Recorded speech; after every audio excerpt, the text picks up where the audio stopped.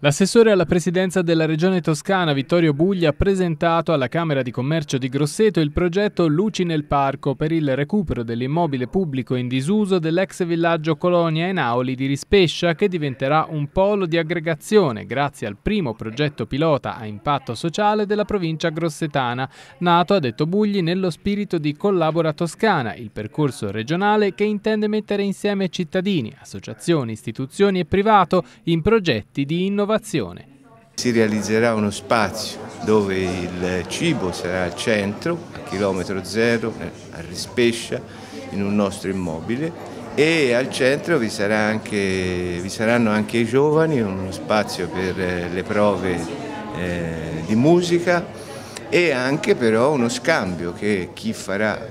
queste prove eh, metterà a disposizione la sua bravura per insegnarla, per passarla a altri giovani. L'aspetto innovativo del recupero dell'immobile di proprietà dell'ente terre regionali toscane tenuta di Alberese, che negli anni 50 ospitava gli orfani dei contadini, è anche nella gestione dei costi del restauro, circa 200.000 euro, attraverso un bond sociale. Tutte le entrate saranno rendicontate su un sito web dedicato al progetto.